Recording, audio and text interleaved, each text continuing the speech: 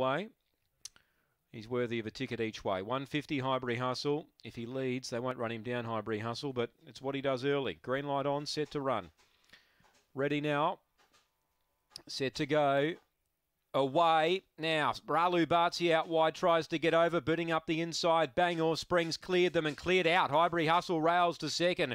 Still a good chance from there. Third Oracle of Omaha. Ralu Bartzi, Cosmic Wonder. Uh, then Edison Bale, Izzy Harry, last Princess Pipjay up front. Lead of the rail now, Highbury Hustle got the run kicked away. Favourite too good, following it through Oracle of Omaha gets second. Cosmic Wonder third, Photo fourth, Edison Bale or Ralu Bartzi. Uh, Bangor Springs next in from Izzy Harry and Prince uh, Princess uh, Pipjay. She was last home. Number four, the winner, Highbury Hustle. Best dog in the race wins. Got a clear run early. That was the uh, the key to him winning. Even he lobbed second down the back, three lengths off the leaders. He was always going to win.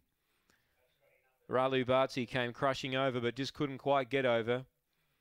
Um, Bangor Springs held them early, but then dropped back sharply. For the winner, Highbury Hustle, John Mundy. Seven second Oracle of Omaha. Kel Douglas ran a good race. 19 into 9 he was. Six third Cosmic Wonder. Three fourth Edison Bale. Four, seven, six and three. 23 20 to run. Five and three quarters by one and three quarters. Four, seven, six and three. Four, seven, six, three. Five and three quarters by one and three quarters. 23 20 the time for Highbury Hustle. So just outside his personal best. Favourite gets the money after race three. We stand by for the all clear.